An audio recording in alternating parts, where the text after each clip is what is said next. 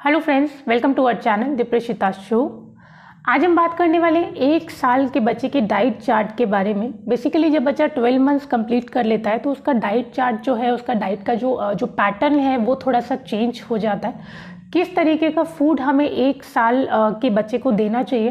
क्योंकि अभी तक जो बच्चा ले रहा होता है, वो प्यूरी फॉर्म में या मैश्ड फॉर्म में या थोड़ा सा कम स्पाइसी फ़ूड बच्चा ले रहा होता है। तो जब बच्चा एक साल कंप्लीट कर लेता है तो क्या क्या और नई चीज़ें हैं जो हम उसकी डाइट में इंक्लूड कर सकते हैं? तो वो सब इस वीडियो में आज हम डिस्कस करने वाले हैं कि एक साल के बच्चे को क्या क्या खाना आप दे सकते हो और किस किस टाइम पे आपको क्या क्या चीज़ें देनी चाहिए। और वीडियो को शुरू करने से पहले मैं आपसे रिक्वेस्ट करूँगी चैनल पे नए हैं तो चैनल को सब्सक्राइब करना है। वीडियो अच्छा लगेगा तो वीडियो को लाइक करना है शेयर करना है और कमेंट करके ज़रूर बताना है वीडियो आपको कैसा लगा।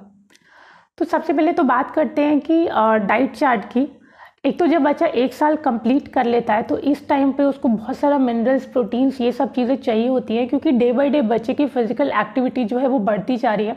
तो बच्चे को हर चीज़ चाहिए अपना बॉडी के लिए, बच्चे को प्रोटीन भी चाहिए, बच्चे को कैल्शियम भी चाहिए, बच्चे को वाइटमिन भी चाहिए, बच्चे को सारे मिनरल्स चाहिए होते हैं। तो ऐसी क्या डाइट हम बच्चे को दें डेली बेसिस पे कि सारा जो न्यूट्रिशन है उसको मिलता रहे? तो यही हम बात करेंगे। और एक चीज़ मैं आपको बताना चाहूँगी कि एक साल तक जब बच्चा होता है मतलब करीब करीब छः महीने का जब बच्चा होता है तो हम उसे सॉलिड स्टार्ट करते हैं। मतलब सेमी सॉलिड देना हम उसको स्टार्ट करते हैं। और एक साल तक का जब बच्चा होता है तो हम थोड़ा सा उसको कभी मैश्ड फॉर्म में चीज़ें दे रहे होते हैं, कभी प्यूरी फॉर्म में दे रहे होते हैं, या बहुत सिंपल फ़ूड हम उसको दे रहे होते हैं। एक साल के बाद उसकी जर्नी थोड़ी सी चेंज हो जाती है। हम आ, कोशिश करते हैं जो फैमिली के लिए खाना बनता है हम थोड़ा बहुत वही उसको खिलाने की कोशिश करते हैं। बस स्पाइस पे आप थोड़ा सा कंट्रोल कर सकते हो कि जैसे स्पाइसी फ़ूड फैमिली में बनता है वो स्पाइसी फ़ूड उसको ना दे के सेम फ़ूड बना के उसको जो छूक है वो आप थोड़ा सा अलग से बच्चे के लिए लगा सकते हो। या जैसे बॉयल्ड दाल ही आपने निकाल लिया तो जो आपकी फैमिली के लिए दाल बन रही है उसमें आपने प्रॉपर तड़का लगा लिया।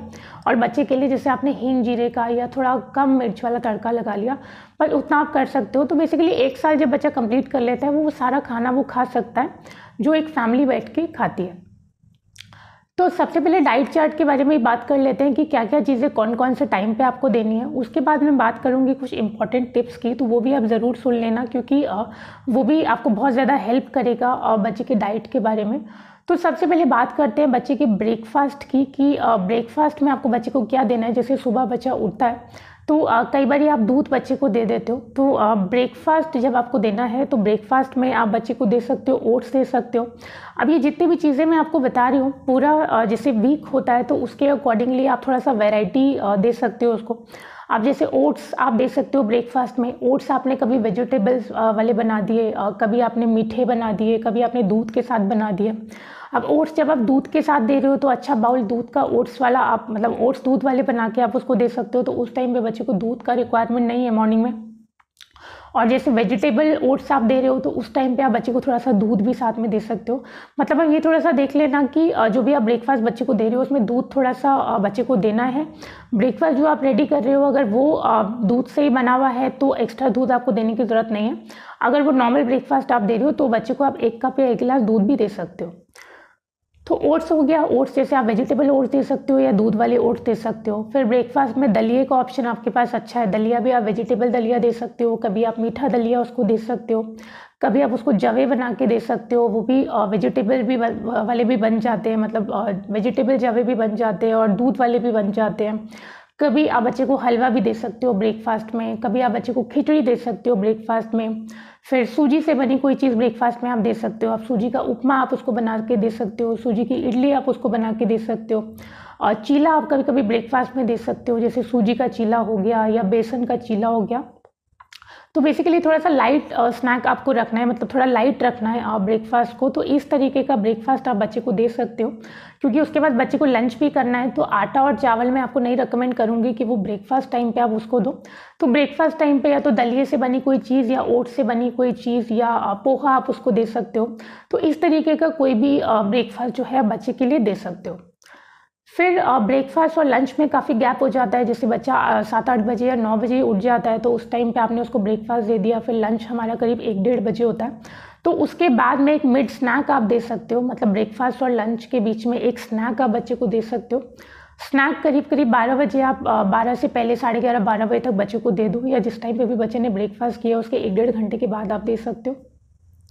मॉर्निंग स्नैक के लिए मैं आपको रेकमेंड करूँगी कि आप बच्चे को सिर्फ़ फ्रूट दो क्योंकि एक तो फ्रूट जो है वो बारह बजे से पहले ही बच्चे ले लें तो वो ज़्यादा अच्छा होता है। तो पूरी हफ़्ते मतलब एक एक फ्रूट करके कोई भी फ्रूट मतलब ये नहीं कि जो बच्चा खाता है आपको सिर्फ़ वही फ्रूट देते रहना। एक फ्रूट आपको ज़रूर देना है। वैरायटी रखनी है फ्रूट में, जैसे कभी आपने एप्पल दे दिया, कभी आपने ऑरेंज दे दिया, कभी आपने पपाया दे दिया। तो मतलब हर एक वैरायटी का, क्योंकि हर एक में मिनरल्स वाइटामिन ये सब चीज़ें अलग अलग होती हैं।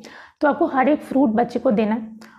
और मैं आपको सजेस्ट करूँगी कि जूस बच्चे को नहीं दें। कई बार जो पेरेंट्स हैं, वो जूस फॉर्म में भी बच्चे को दे देते हैं क्योंकि एक तो बच्चा जल्दी पी लेता है, दूसरा जूस पीना बच्चे को अच्छा लगता है, लेकिन जूस जो है बच्चों को नहीं देना चाहिए।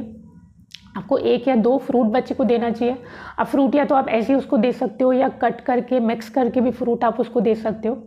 एक्चुअली होता क्या है कि जब आप उसको जूस फॉर्म में कन्वर्ट कर देते हो तो फाइबर सारा जो है फ्रूट का निकल जाता है और वो सिर्फ़ लिक्विड फॉर्म ही रह जाता है और फाइबर बच्चे के लिए बहुत ज़्यादा ज़रूरी है। तो अच्छा है कि आप बच्चे को सिर्फ़ एक फ्रूट दो एक या दो, जो भी बच्चा खा सकता है या मिक्स करके भी आप दे सकते हो, वो आपके ऊपर डिपेंड करता है। और जूस आपको बना के जो है वो नहीं देना है। कभी एक आध हफ़्ते में एक बार अगर बच्चे का बहुत ज़्यादा मन है तो आप दे सकते हो।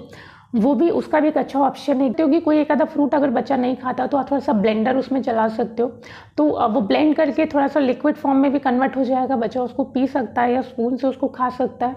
और फाइबर भी जो है, सारा उसके ग्लास में ही रहेगा। फाइबर भी उसका नहीं निकलेगा। तो बस आप ब्लेंडर चला सकते हो कि वो थोड़ा सा प्यूरी फॉर्म में हो जाए। जूस आप कोशिश करो कि उसको मत दो। फिर बात करते हैं लंच की। आपने ब्रेकफास्ट उसको दे दिया, आपने जो स्नैक है वो उसको दे दिया। अब नंबर आता है लंच का, जैसे एक डेढ़ बजे, दो बजे जैसे आप लंच करते हो, उस टाइम पे आप बच्चे को भी लंच करा सकते हो। लंच में मैंने आपको जैसे पहले भी बताया कि जैसे पूरा फैमिली के लिए खाना बनता है, एक साल के बाद बच्चा वो सारा खाना खा सकता है, क्योंकि एक साल के बाद आप उसको हर एक चीज़ इंट्रोड्यूस कर सकते हो, जो अभी तक आप उसको नहीं कर सकते थे। बस आप इतना ध्यान रख सकते हो कि थोड़ा सा स्पाइस कंट्रोल कर सकते हो, क्योंकि बच्चा जैसे हम खाना खाते हैं, थोड़ा मिर्ची वाला या थोड़ा स्पाइसी फ़ूड वो बच्चा नहीं खा सकता तो थोड़ा सा कम स्पाइसी फ़ूड आप उसके लिए रेडी कर सकते हो। मतलब खाना वही होना चाहिए, बस आप छोंक थोड़ा सा अलग लगा सकते हो बच्चे के खाने में।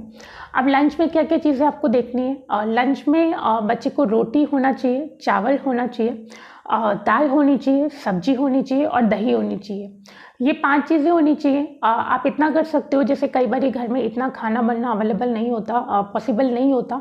तो आप ये कर सकते हो कि जैसे आपने सुबह उसको रोटी दे दिया है तो रात को आप उसको चावल दो या दोपहर में आपने उसको चावल दे दिया है तो रात को आप उसको रोटी दे दो।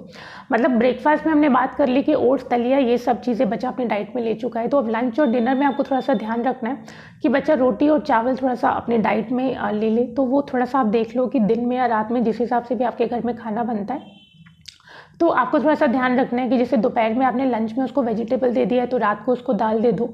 या लंच में आपने उसको दाल दे दिया है तो रात को वो ज़रूर वेजिटेबल ले। दही की मैं बात करूँगी, दही आपको उसको ब्रेकफास्ट में या लंच में ही देना है। दही ज़रूर देना है बच्चे को। इवन विंटर्स में भी आप उसको दही दे सकते हो, कोई प्रॉब्लम नहीं है। दही बहुत अच्छा होता है बच्चे की बॉडी के लिए। बस आप इतना कर सकते हो कि दही जो है वो बहुत ज़्यादा ठंडा नहीं होना चाहिए। मतलब अगर वो फ्रिज का दही है तो आप पहले थोड़ा सा निकाल के रख लो बच्चे के लिए। थोड़ा सा वो नॉर्मल टेम्परेचर पे आ जाए मतलब रूम टेम्परेचर पे आ जाए तो थोड़ा सा आप बच्चे को दे सकते हो। अब दही का कभी आप बच्चे को रायता बना के दे सकते हो, कभी आप जैसे गर्मी आए तो छाछ फॉर्म में भी दे सकते हो। विंटर्स में आप थोड़ा दही में चीनी मिला के भी बच्चे को दे सकते हो तो दही आपको उसकी डाइट में ज़रूर ऐड करना है। इतना ज़रूर आप ध्यान रखना कि दही हमेशा फ्रेश होना चाहिए। मतलब जैसे आपने कल दही जमाया, एक तो घर का ही दही होना चाहिए, बाहर का दही नहीं होना चाहिए। फिर आपने कल जमाया तो आज उसको दे सकते हो। बट ये नहीं है कि दो तीन दिन पुराना दही है और वही आप बच्चे को दिए जा रहे हो। तो आपको बिल्कुल फ्रेश दही बच्चे को देना है। रूम टेम्परेचर वाला देना है। विंटर्स में बिल्कुल आप उसको दे सकते हो।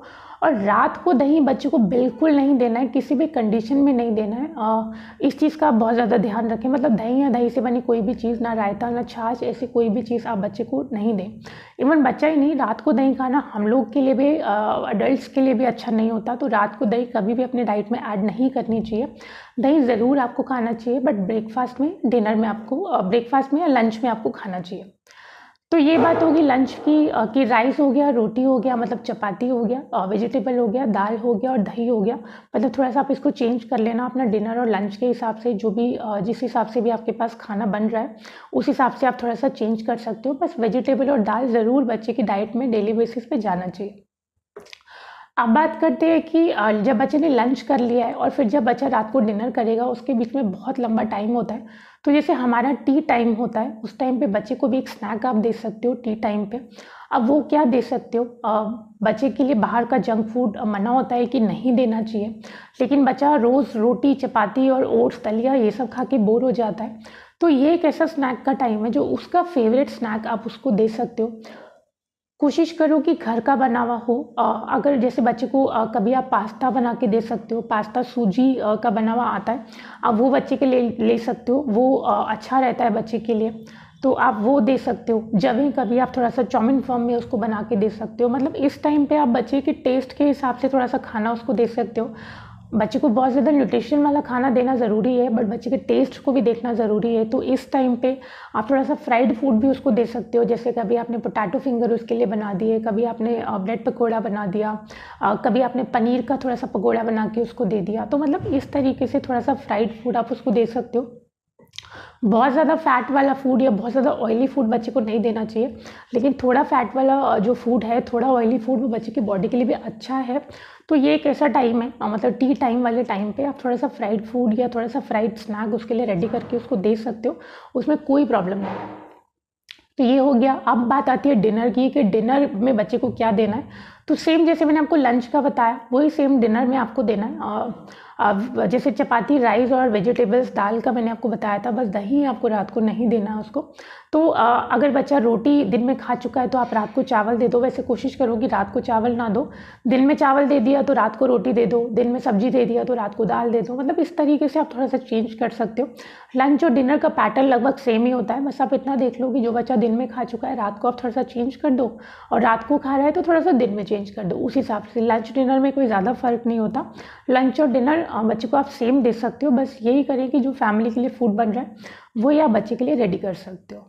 यहाँ मैं बात करना चाहूँगी थोड़े से टिप्स की आपके लिए कि क्या क्या चीज़ों का आपको ध्यान रखना चाहिए। एक तो एक साल के बाद मैंने आपको बताया कि हर एक चीज़ आप बच्चे को दे सकते हो अब चाहे वो नॉन वेज हो और चाहे वेज हो पहले तो मैंने नॉनवेज की बात जो है डाइट चार्ट में नहीं करी है। तो लंच या डिनर में जहाँ भी आप सब्ज़ी या दाल ऐड करते हो, वहाँ पे आप अपना नॉनवेज अगर कुछ आप खाते हो मतलब चिकन हो गया या फ़िश हो गया, जो भी आप नॉन वेज में लेते हो तो लंच या डिनर में वो भी आप उसको दे सकते हो। बस ये थोड़ा सा ध्यान रखो कि स्पाइसी ना हो। फिर स्नैक में आप उसको ऑमलेट या एग भी दे सकते हो। मतलब अगर आप नॉन वेजिटेरियन है तो उस हिसाब से आप वेराइटी थोड़ा सा चेंज कर सकते हो। एक साल के बाद जैसे नई नई चीज़ें हम उसको इंट्रोड्यूस करते हैं, जैसे एग देना मना होता है एक साल से पहले बट एक साल के बाद हम उसको अंडा देना स्टार्ट करते हैं। या कुछ ऐसी चीज़ें होती हैं जो मना होती हैं चैनल पे उसकी पूरी लिस्ट है कि एक साल तक बच्चे को क्या क्या नहीं देना चाहिए। तो अब एक साल के बाद आप उसको नई चीज़ें इंट्रोड्यूस कर रहे हो तो थ्री डेज़ रूल आपको पता ही होगा और सिक्स मंथ्स के बाद जब आप सॉलिड स्टार्ट करते हो तो ऐसे गाइडलाइन है कि जो भी चीज़ आप उसको दे रहे हो खाने के लिए, तीन दिन तक आप थोड़ा सा ऑब्जर्वेशन में रखें बच्चे को।